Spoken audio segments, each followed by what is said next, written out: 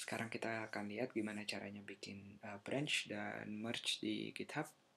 Jadi yang pertama kalau kita mau bikin branch, uh, branch tinggal klik di sini. Lalu tinggal dikasih namanya. Lalu bisa enter atau klik di bagian sini. Jadi itu cara otomatis kalau kita mau dari GitHub langsung. Sekarang kalau misalnya kita mau dari lokal, jadi saya akan bikin file baru bikin branch baru, saya kasih nama baru. Lalu uh, kalau kita lihat sekarang saya berada di branch baru saya, kita coba ganti sesuatu di filenya. Branch baru, Oops. branch baru saya save, lalu kita seperti biasa kita add dan commit branch baru lalu sekarang kita mau uh, push origin lalu bukan lagi master tapi kita akan ketik baru. Dengan ini otomatis nanti di github kita dia akan juga bikin branch baru buat kita.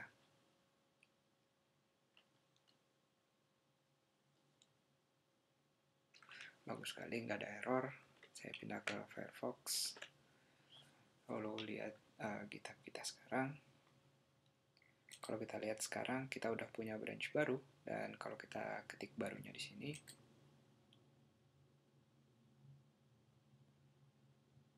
kita lihat indeks HTML-nya udah ada uh, tambahan file baru tadi kita ini. Sekarang kita lihat kalau kita mau merge filenya kita klik di sini compare view. Jadi kita bandingin dulu filenya. Uh, perbedaannya kita ada tambahan ini tadi Lalu kalau kita mau gabungin filenya, kita tinggal create pull, pull request pertama. Uh, yang pertama kita create pull request, lalu ketik lagi kalau teman-teman mau detail atau kasih komentar juga boleh.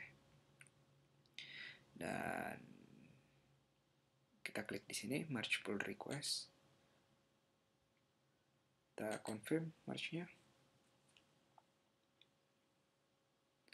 Dan setelah di merge karena tulisannya sudah merged past tense artinya file baru kita file master kita sudah ngambil dari branch baru tadi kita bisa delete branch yang lamanya. Uh, ini optional tentunya kalau teman-teman mau biarin tapi biasanya kita delete. Kalau udah kita merge jadi saya delete aja.